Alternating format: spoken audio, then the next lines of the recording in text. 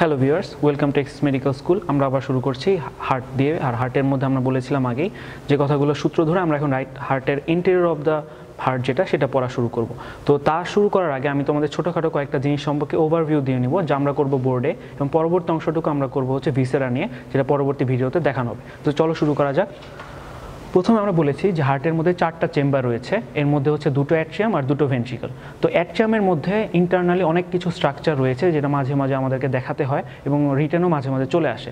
তো ইন্টেরিয়রকে জন্য আমরা তোমাদের বোঝার সুবিধার্থে দুইটা ভাগে ভাগ করেছি। যেমন প্রথম রাইট অ্যাট্রিয়াম দিয়ে শুরু করব, কারণ রাইট অ্যাট্রিয়ামটা বেশি ইম্পর্টেন্ট এবং রাইট অ্যাট্রিয়ামের মতোই লেফট অ্যাট্রিয়ামটা সুতরাং রাইট অ্যাট্রিয়াম যদি কেউ ভালো মতো পারে, তার ক্ষেত্রে লেফট অ্যাট্রিয়ামটা কোনো সমস্যা হওয়ার কথা না। তাই আমরা রাইট অ্যাট্রিয়ামটা আগে দেখব।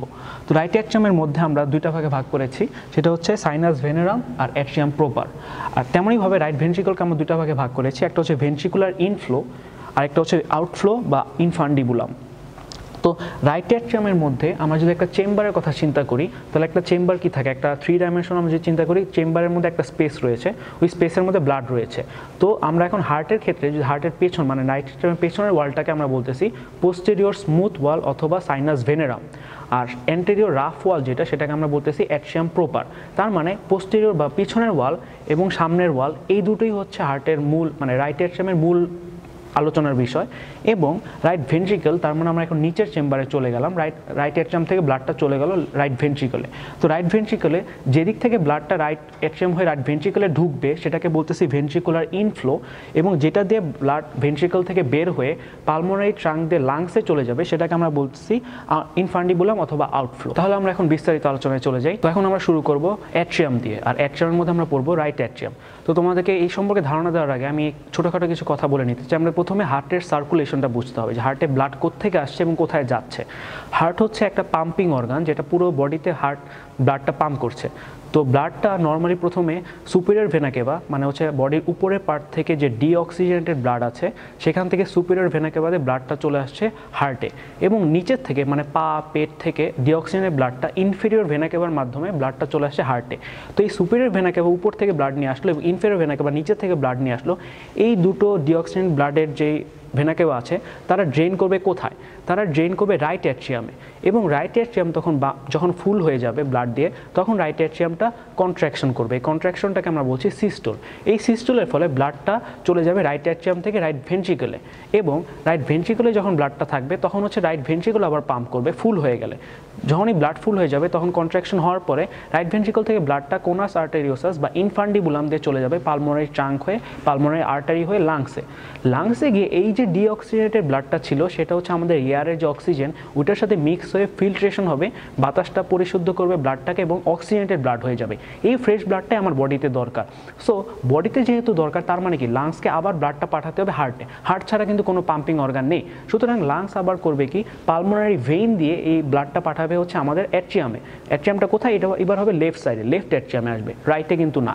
তার মানে অক্সিজেনেটেড ব্লাডটা লাংস হয়ে সেখান থেকে পালমোনারি ভেইন দিয়ে চলে আসলো কোথায়? লেফট অ্যাট্রিয়ামে তো লেফট অ্যাট্রিয়ামটা আবার যখন ফুল হয়ে গেল কন্ট্রাকশন করল কন্ট্রাকশন করার ফলে এর মাঝখানে যে ভাল্বটা ছিল সেই ভাল্বটা খুলে গেল।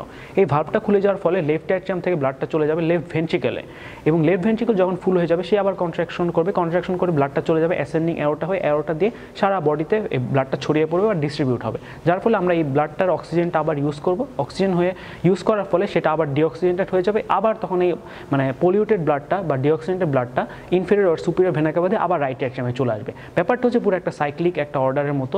একদিক দিয়ে দূষিত বাতাস মানে দূষিত যে রক্তটা আছে সেটা হার্টে আসবে এবং একদিকে আবার সেটা লাংস থেকে পরিশুদ্ধ হবে লাংস থেকে আবার শুদ্ধ বাতাসটা এসে আবার হার্টে যাবে হার্ট থেকে আবার পাম্প করে অর্গানে পাঠিয়ে দিবে। এভাবে করে একটা সাইক্লিক অর্ডারে এই যে ফিল্ট্রেশন এবং আবার পলিউশন হওয়ার কারণটা এটা ঘুরতে থাকবে।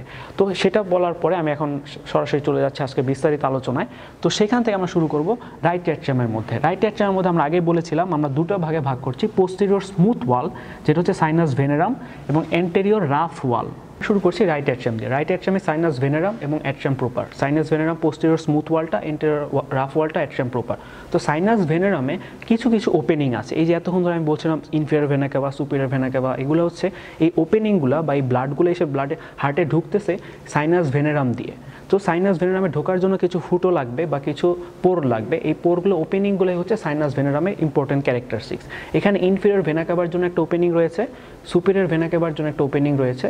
করোনা করোনারি সাইনাস যেটা হচ্ছে হার্টের ভেনাস ড্রেনেজ মানে হার্ট যে ডিঅক্সিজেনের ব্লাডটা তৈরি করতেছে, সেটা সে আবার রাইট করোনার রাইট অ্যাট্রিয়ামকে দিচ্ছে। সেটা হচ্ছে করোনারি সাইনাস মানে হার্টের ভেইনটাই হচ্ছে করোনারি সাইনাস তারপরে আরও কিছু ছোটো ছোটো ফোরামেন থাকে, সেটাকে বলা হয় ফোরামেনা ভেনেরাম মিনিমেরাম যেটাতে ছোটো ছোটো ভেনাকর্ডিস মিনিমি এই ব্লাড এই ভেইনগুলা ব্লাড ড্রেন করবে রাইট অ্যাট্রিয়ামে মোদ্দা কথা হলো রাইট অ্যাট্রিয়াম বডির যত ডিঅক্সিনেটেড বা যত দূষিত রক্তটা রয়েছে, সেটা সংগ্রহ করবে এবং সেটা সংগ্রহ করার জন্য তার কিছু চ্যানেল লাগবে বা ওপেনিং লাগবে।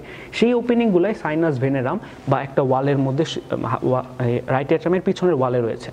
আর তারপর চলে আসে অ্যাট্রাম প্রোপারে অ্যাট্রাম প্রোপারটা হচ্ছে মেইনলি আমাদের হার্টের রাইট অ্যাট্রামের ভিতরে যে রাফ পার্টটা যেটা স্মুথ না যেটা কিছু মাসল রয়েছে, সেটা। অ্যাট্রাম প্রোপারের মধ্যে আমরা তিনটা জিনিস পড়ব সালকাস টার্মিনালিস ক্রিস্টা টার্মিনালিস আর মাসকুলি পেকটিনাটা তো এই হচ্ছে মোটামুটি রাইট অ্যাট্রাম সম্পর্কে আমাদের একটা ওভারভিউ তো আমরা এখন চলে যাব ভিসেরায়। ভিসেরাতে আমরা হাতে নাতে দেখব যে কোনটা কীরকম হয়ে থাকে। ধন্যবাদ।